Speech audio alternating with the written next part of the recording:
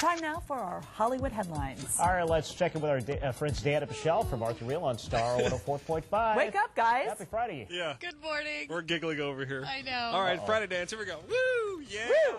Oh gosh. Hey. Oh like boy. that. It just never gets old. It does get a little old. I, I haven't been able to back. sleep all week either. Oh boy. I think it's a All full right, moon again. Yep. Little bit of a more serious note. Today celebrates the first anniversary of Michael Jackson's death, and thousands of fans are paying tribute to the late king of pop. In London, a memorial was unveiled at the Lyric Theatre. The theater was the site of an impromptu wake after Michael Jackson died last year. In Hong Kong, this has already happened. Michael Jackson uh, impersonators performed to his classics at the mall.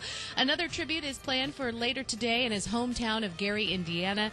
Other close friends and family will gather at the cemetery where Michael is buried. And the Apollo Theater in Harlem is hosting a commemoration of Michael's life in front of a new plaque honoring him in the theater's Wow. new Hall of Fame. So lots of things going on all around the country to uh, kind of.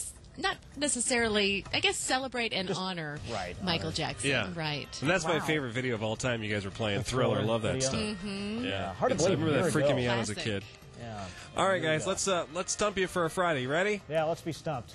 On this, the one year anniversary of Michael Jackson's death, this person compared Adam Lambert to the king of pop, saying, Adam's amazing. He really is. He, he's got that showmanship thing. He's a real entertainer, and that's what Michael was. uh, Orianthi, Rihanna, Mar- Mariah Carey, you're such an 80s child, and Jay Z. Who said it?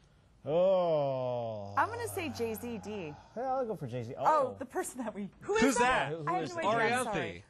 Yeah. Okay. Uh, and for the life of me, can't think of one song uh, Orianthi sings right now. But we play them. Yeah. okay. I'll Well, tell you what. My mom loves Adam Lambert. She says he's like the second coming of Elvis. She loves him. he is. He Really? looks like Elvis. Yes, he does. Yeah, not so much Michael Jackson. I think he more looks like me with the eyeliner and. All no, right nothing? then. Okay. Happy CTE will Friday.